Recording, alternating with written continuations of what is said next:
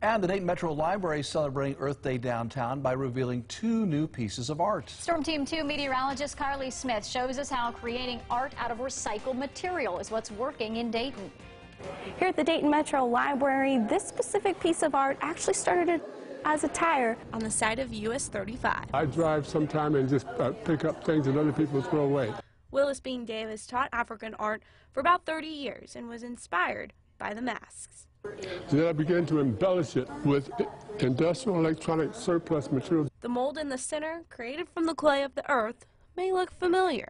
I use my face as that warrior who is concerned about uh, preserving culture and preserving and recycling material. The Chamu mummy mask found at the Dayton Art Institute was the inspiration. They would use that as a springboard to create their own original work.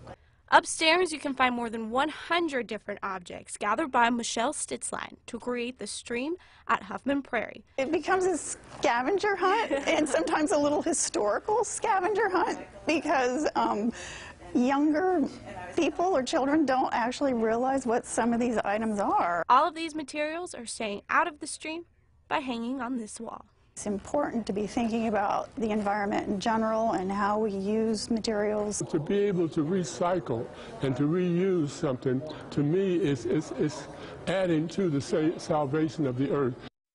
I'm meteorologist Carly Smith, 2 News working for you.